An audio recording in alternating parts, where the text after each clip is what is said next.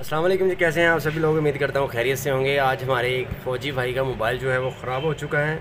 इसमें charging Jack का fault है, या मैं चेक करवाता हूँ। यहाँ आपके सामने ये है, बिल्कुल जो है वो चार्ज वगैरह नहीं करा तो सबसे पहले हम आपको इसका खोलने का तरीका अगर बताऊँगा कि आप किस तरीके से इसको जो है ओपन कर सकते हैं उसके बाद हम इसका जो होगा चार्जिंग जैक वो रिप्लेस करेंगे। मैं हूँ अली, और आप देख रहे हैं Punjab mobile dot P K मेरा मोबाइल रिपेयरिंग से रिलेटेड यूट्यूब चैनल पहले तो हमने हीटर की मदद से जो इसको है वो कायल को मुकम्मल ऊपर की तरफ़ से जो है वो मुकम्मल हीट कर लेते हैं। सबसे पहले हम तो इसका ये फ्रंट वाला यूनिट है हीट गन के ज़रिए से हम इसको जो हो है, आहिस्ता आहिस्ता जो है मुकम्मल हीट कर लेते हैं। जब ये मुकम्मल तौर पर हीट हो जाए, यानी कि इसकी गम जो है वो नरम हो जाए तो उसके बाद हम एक ब्लेड की मदद से या फिर फ्लिपर की मदद से इसका टच जो है वो ऊपर आने की कोशिश करते हैं। ये अब जो है हीट गन की मदद से काफ़ी ज़्यादा जो है पिघल चुका है तो अब हम ब्लेड की मदद से जो है इसके टच को बाहर निकालने की कोशिश करते हैं।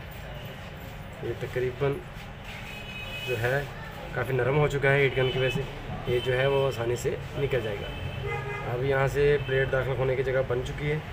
तो अब हम जो होगा, वो रबड़ का फ्लिपर जो है, इसके यूनिट के अंदर जो है, वो फिट करेंगे।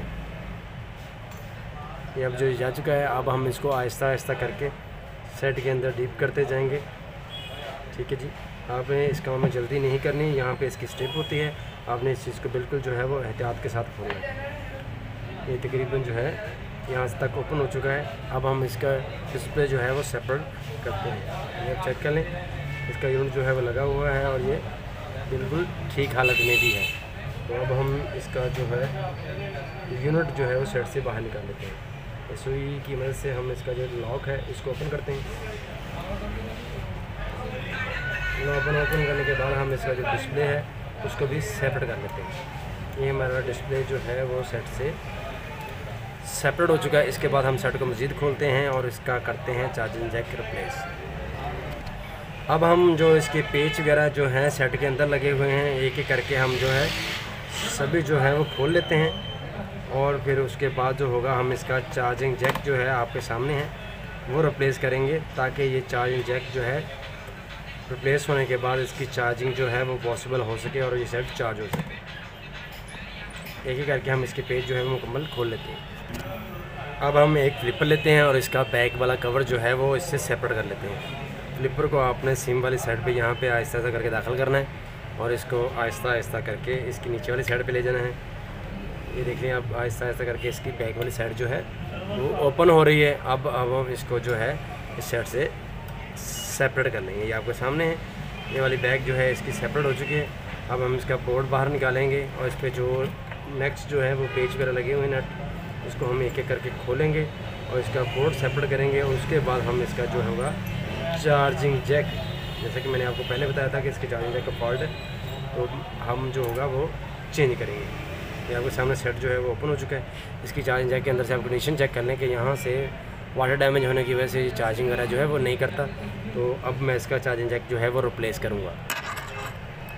अब हमने सेट को जो है वो काफ़ी हद तक ओपन कर लिया और यानी कि मुकम्मल ही ओपन कर लिया तो अब हम इसका जो चार्जिंग जैक है, वो हम आपको रिप्लेस करने का तरीका कर बताएँगे। अब हम इसका चार्जिंग जैक जो है, ये सबसे पहले तो हम इस पर पेस्ट लगाते हैं और पेस्ट लगाने के बाद हमने इसको हीट गन की मदद से जो है, इस चार्जिंग जैक को सेट से जो है वो सेपरेट करते हैं। इसमें पेस्ट थोड़ी कम है तो अब हम इस पर पेस्ट वगैरह और ज़्यादा लगाते हैं। ताकि ये इजीली जो है वो उतर जाए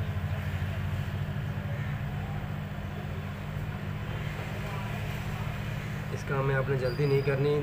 अगर आप जल्दी करेंगे तो इसके पॉइंट्स वगैरह जो हैं वो डैमेज होने का चांस है।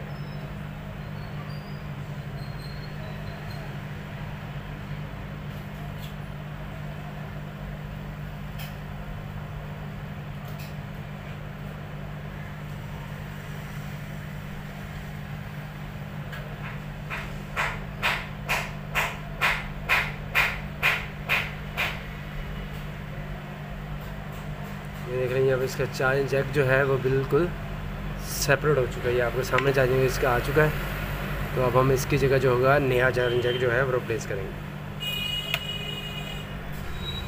अब हम इसमें ये वाला चार्जिंग जैक जो है, वो इसमें फिट करेंगे।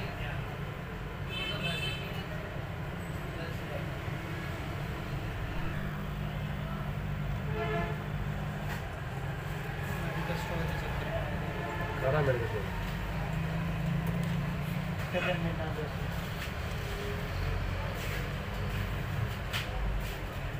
अब आपके सामने हैं, जैक भी चेंज हो गया और उसका हमने पॉइंट वगैरह भी जो है लगा दिए। अब इसके बाद हम सेट को जो है, मुकम्मल फिट करने से पहले आपको इसका चार्जिंग जैक लगवा के चेक करवाते हैं कि इसका चार्जिंग जैक जो है, वो बेहतर काम कर रहा है या नहीं कर रहा। आपके सामने ये हम इतना ही फिट कर लेते हैं और इसके बाद हम जो है, इसका सॉरी ये वाला बैक पैनल भी फिट कर लेते हैं। इसमें हम इसके पेच वगैरह तो बाद में लगा लेंगे, क्योंकि इस पर आपको पता है काफ़ी टाइम ज़ाया हो जाएगा। अब हम इसका फ्रंट पैनल जो है वो लगा के इस पर आपको इसकी चार्जिंग चेक करवा देते हैं कि ये चार्जिंग जैक जो है हमारा काम कर रहा है कि नहीं कर रहा।